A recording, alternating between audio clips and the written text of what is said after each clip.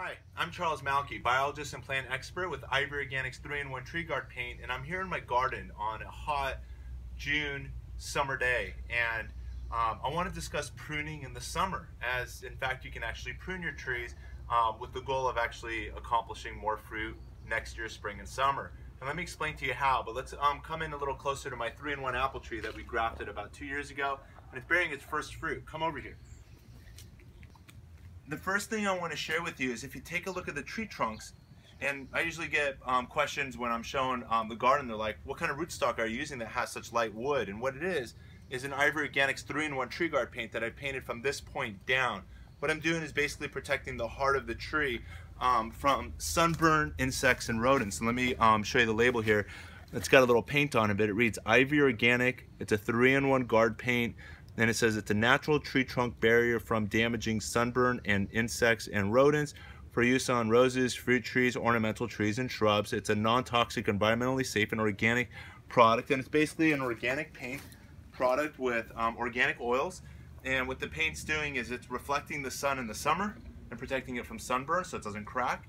It's also um, in the winter protecting from sun scald and it also protects from insects, the oils that are in there, and it protects from rodents that may dare to gnaw on the tree, especially in the winter months, um, and try to get to those sugars. And it's got an oil that actually is distasteful and should repel most rodents from the tree.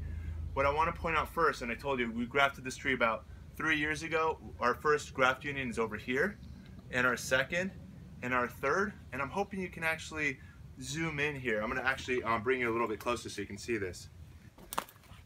So if you take a look over here, you'll see that the first graft union is right there, right in this area.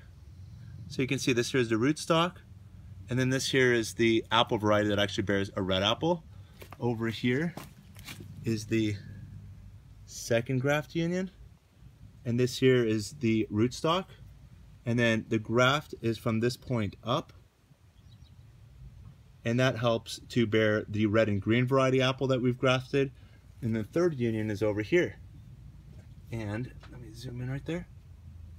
And what we've got here is the Granny Smith, which is on the top of the rootstock. And you can see it's basically a, um, it all comes down to one, one root that's supporting three varieties of fruit, which will actually end up cross-pollinating with one another so the three varieties will actually end up, and I've actually done a video on this. So there's a video out there already by Organics that discusses approach grafting, which you can actually graft anytime, preferably spring, summer, and fall.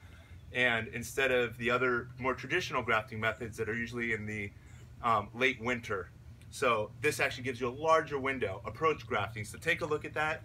Um, check out that video. The other thing um, we've also discussed is um, discussed about fruit trees is it's highly recommended that you have um, diversities of species of fruit trees within your garden to actually improve with cross-pollination. Even if a tree is self-fertile, some apples are actually self-fertile, some apples require a second apple. But regardless, all apples and all avocados and a lot of citrus will actually increase fruit production by cross-pollinating. And that means you just put a different species, like something that's related, but different um, as we did over here. This one here is our Granny Smith, this one here is a green and red apple, and to my right is just a red apple. So there's three varieties of apple that will be blooming, cross-pollinating with one another, and increasing fruit production as a result.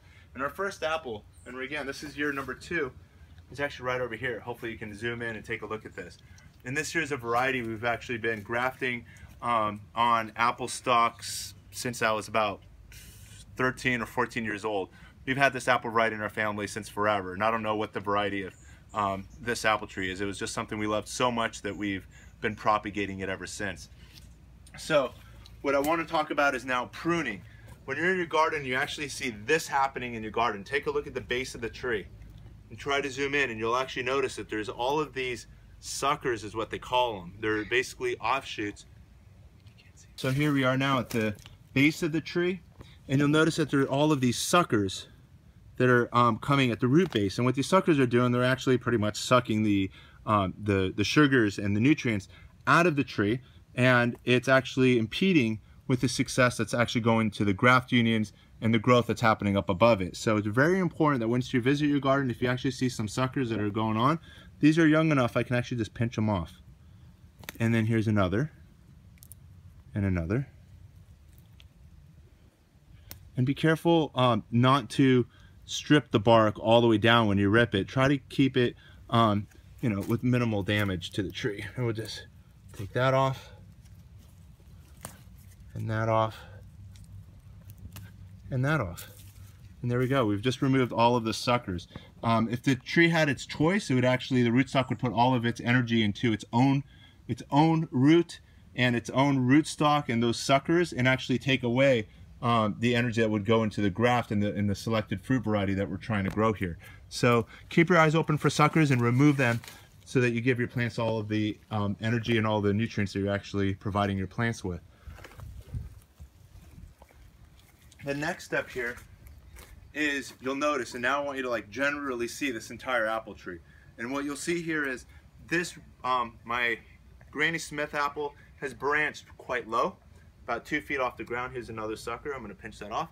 So, so this here, so this here actually branched about two feet off the ground. You can see the branches are low, so it's actually going to continuously branch um, and hopefully bear a lot of flowers and a lot of fruit at a low point within the garden. Our goal is not to create a monster tree. Uh, this one here similarly grew maybe closer to like three feet off the ground and is branching. And again, here's the first apple right there.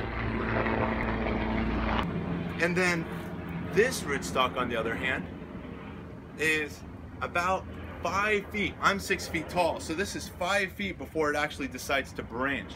Um, and there's no apples. It actually flowered and it looked like it was about to actually make some fruit in this area.